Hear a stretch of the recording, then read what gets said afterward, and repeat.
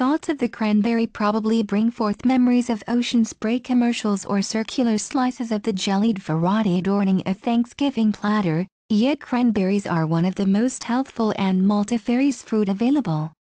Found and grown in bogs throughout the northern hemisphere, cranberries are actually a type of evergreen dwarf shrubs or trailing vines. With skinny, wire-like stems, and dark pink flowers, they are popular with the honeybee and anyone who likes a sweet fruit with an acidic kick. In the US and Canada, cranberries are a major commercial crop. They can be made into cranberry juice, hence the images of the ocean spray commercials, cranberry sauce, cranberry jelly, or dried into candy-like treats, although many people enjoy them fresh. Cranberries have been increasingly recognized as a superfruit, along with the acai berry and blueberry among others, because of their antioxidant and nutrient content. Vaccinium oxycoccos, northern cranberry, is a species of cranberry found in Europe, northern Asia, and North America. These cranberries are small, pale pink, and have a tangy flavor. The Vaccinium microcarpum, small cranberry, is a species of cranberry found in northern Europe and northern Asia. Vaccinium macrocarpon, Large cranberry is a species of cranberry found in northeastern North America, and is one of the most popular varieties due to its closeness to an apple taste. Cranberries are close cousins to huckleberries, bilberries, and blueberries. Cranberries got their name by early European settlers.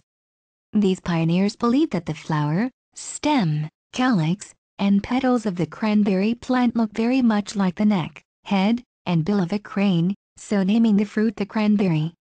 In northeastern Canada, cranberries are often called mossberries, yet the traditional English name for the tangy fruit is fenberry, due to the berry's growth in the fen, or marshes.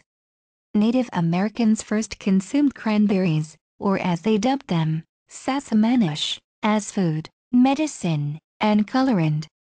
They may have given them to starving European settlers, who then incorporated them into their Thanksgiving feasts. It wasn't until the 1820s that cranberries were exported to Europe, where they became popular in the Nordic countries, Russia, and Scotland how are cranberries grown? Well, ocean spray commercials pretty much have it right. The men in those goofy rubber overalls, surrounded by a veritable sea of berries are quite representative of what one might see in a cranberry bog. In the U.S., Cranberries are cultivated in Maine, Wisconsin, Massachusetts, Washington, Michigan, Oregon, Minnesota, and New Jersey. Wisconsin leads production with over 50% of the market share, followed by Wisconsin with 28%. Traditionally, cranberries were grown in wetlands, yet today they are constructed in beds in uplands with a shallow water table. There is no topsoil, which is scraped off and replaced with clean sand, brought in at 4 to 8 inches, and then leveled off. The beds can be drained by sock tile or the perimeter ditch, dug around the bed. Cranberries are grown by moving established vines from one bed to a new one. The vines are pushed into the sand and then watered until roots form. They are showered with nitrogen fertilizer until they are a year old. They are harvested in the fall, when the berries are finally deep red. Cranberries have numerous health benefits. They are full of vitamin C, fiber and manganese.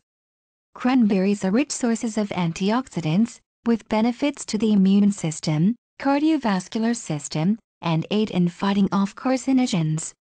They can fight tooth decay and prevent kidney infections, including kidney stones, and consumption has been shown to reduce stress.